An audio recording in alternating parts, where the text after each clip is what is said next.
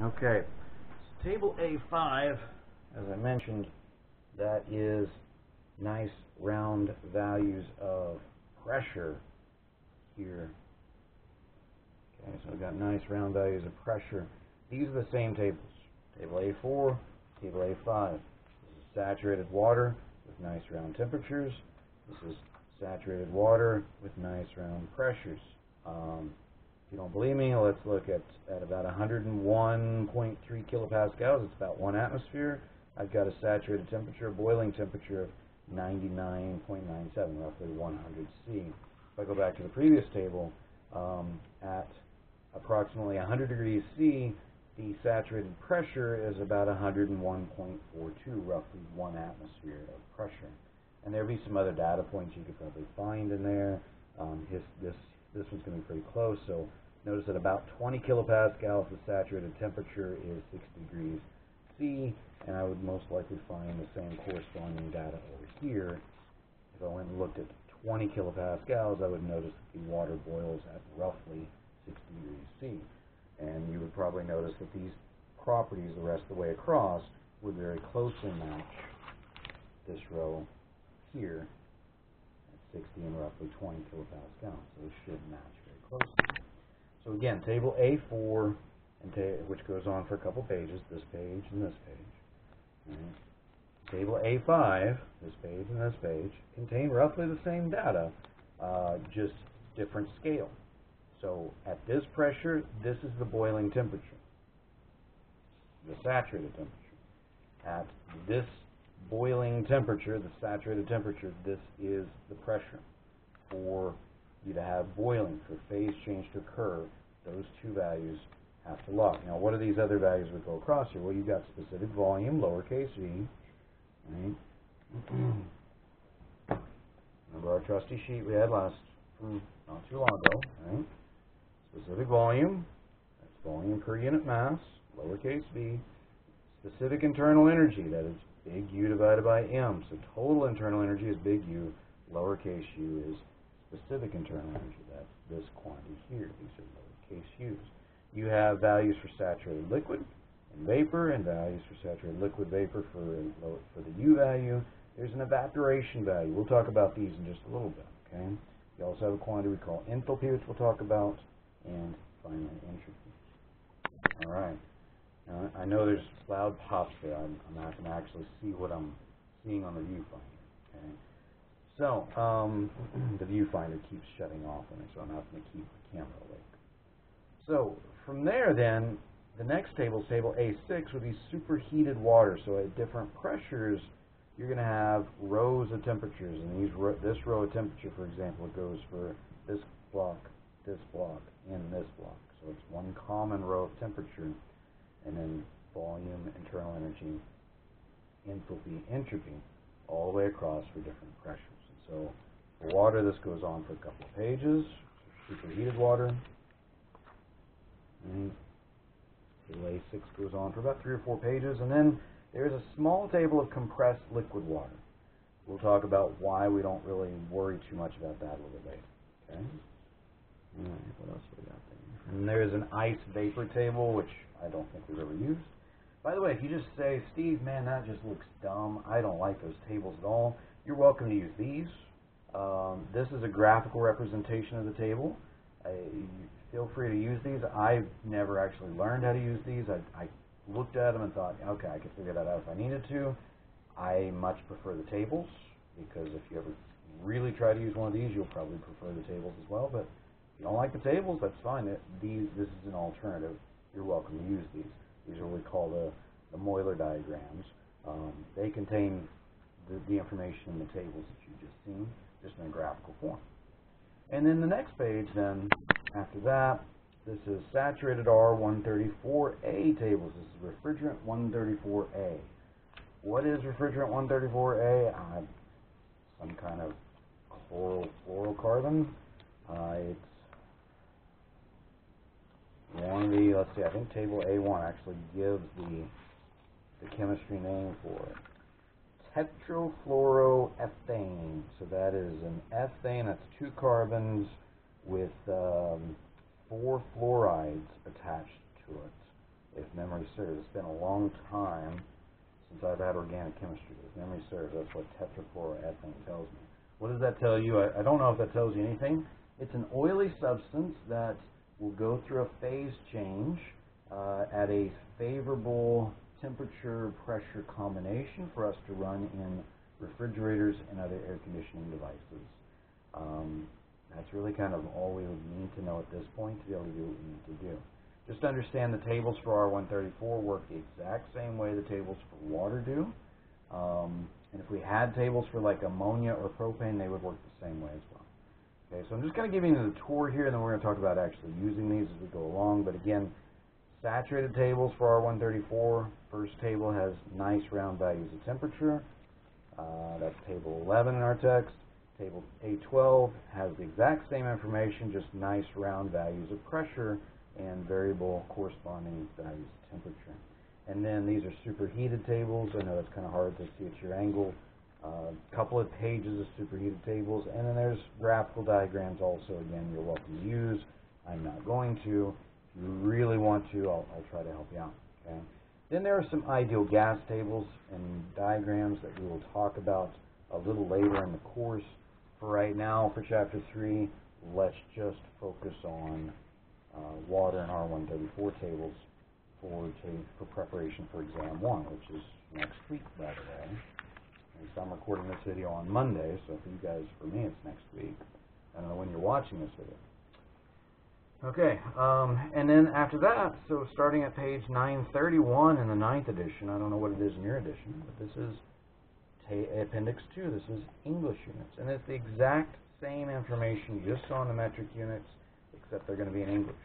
By the way, if you um, if you uh, took the easy way out and converted your units in the, the early problems to, to metric units because you didn't want to do English units, um, well, okay, whatever works for you, I guess.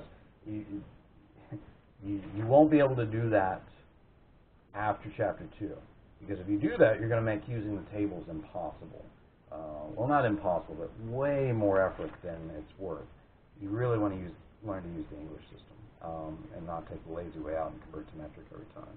But anyway, um, it's okay if you've done it so far. Just telling you, you, you might want to go back and work those problems in English units and, and really understand, get a better understanding of how that works. Because right now it's going to be Greek to you. Um, so English tables. Um, same information, saturated table A4, E is saturated water, nice round values of temperature, corresponding pressures. A5 is nice round pressures, corresponding temperatures. So at approximately 1 atmosphere, that's 14.7 psi. Water boils at about 212 degrees Fahrenheit, we would expect. Okay? And so, again, same information, and then after your compressed liquid water table, we go on and you've got R1, well, you've got diagrams. And then you've got R134 tables. I'm trying to not lose too many pages at once. And you've got R134 tables. Same information uh, again.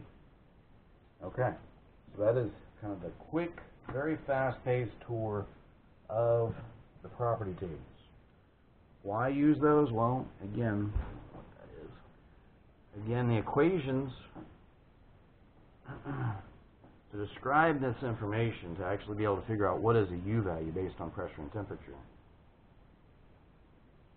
it's, um, historically it's just been easier to publish these as tables, and you just figure out, based on your properties you have, where you should be at on the tables. so let's talk about doing that. Um, a couple of things here. I, I mentioned there's this quantity, this H quantity, enthalpy. H, enthalpy, is the sum of the internal energy plus the product of pressure and volume. So if you went through and multiplied pressure and volume, if you went through and, and picked out um, you know, a combination of pressure and temperature, go to the superheated table, pick out a random pressure and temperature, take the pressure, multiply it to the volume, um, and then add that product to the internal energy and make sure your units match up, you would get the same or approximately the same value you would get for the enthalpy, the H value. Now you you don't have you don't have big H, big U, and P, big V. What you have is you have specific enthalpy is equal to specific internal energy plus the product of pressure and specific volume. Okay, so that's what you will find. And the reason for that, why is that? Well, it's because um, if we publish the tables per unit mass, then it doesn't matter how big my system is, how much mass is in my system, what is the extent of my system. These are extensive properties. They depend on the mass or the extent of the system. These are intensive properties. They do not depend on the mass of the system. So I can use the same property tables for uh, the water that's in my cup. I could use the same property tables for the water that's in my swimming pool, even though it's vastly different masses of water. The same property tables can be used. So that's the reason for the lowercase parameters. Doesn't matter how big my system is. okay. So that's enthalpy, right? Again, H is the sum of U and the product of PV. Okay. Um, that means, let's write something else here. Right, so that means um, the units here, right, so the units here are kilojoules or BTUs, the British thermal unit. The Units here are kilojoules per kilogram or BTU per pound mass. Now the other property that's in those tables, the tables will have U values, P and V's, H's, and they will also have an S value, the entropy. That come, becomes important for us in Chapter 7 when we start talking about the second law. Understand finding an S value is just like finding a U or an H value right now. Uh, it works the same way. Um, it, it's just we're just not going to have to worry too much about it. The problem in Chapter 3, they might ask you to find the entropy value. We're not going to do anything useful with that entropy value until later in the course. But U values, that's back here in the first law. We can use those to go into the first law equation. So let's talk about how do we find those. So how do we, Steve, how do we, that's, that's a lot, right? Got these tables, a bunch of tables. Which table do I use? Using tables. Again, this is lecture 5 and 6. This is page number 2 of my notes so far. Using tables. I break it down to a four-step process. What I would suggest is have this somewhere handy that you can get to. You're going to want this throughout, literally throughout the rest of the course. Anytime you encounter water, R134 in this course, you're going to use this process uh, it's going to seem really weird and Greek to you about the first, I don't know, 10, 15 times you had to go through it. Um, after about the first 10 or 15 times, you'll get kind of start to get the hang of it. After going through this process, and I'm not kidding here, over 100 times, you'll start to become very good at it. Um, now, the question is, how quickly do you hit that 100 times? You probably want to hit that 100 times before you try to tackle exam 2. It's going to be a challenge on exam 1 because you're probably not going to get to 100 times there in some of your, and, and uh, whenever I say this in class, people kind of chuckle. They think I'm kidding. I'm not kidding. We're going to do this throughout the rest of the course. Um, so after about 100 times of doing this, you'll get good at it. So the question is on you. How do you do you want to, when do you want that 100 times to occur? Between now and exam two, or between now and the final? And which means you're probably going to really struggle on exam two and exam three. Practice, practice, practice. This process does not change. Um, step one is easy. Identify your substance. What substance am I working with? If it's water in R134, uh, we're going to use those water in R134 tables. If it's an ideal gas or if it's a solid and liquid, we'll have other processes we'll talk about as we move forward. But for exam one, we're going to focus on water in R134. Step two, what do you know? Identify known properties. Right? What do you know about uh, what you have right now? And, and, the known properties we're really interested in is P, uh, V, T, the three properties that are easy to measure. Uh, but we might also, for some reason, have a U value, an H value, or an S value. And I got to stop there. We'll pick up on the next one.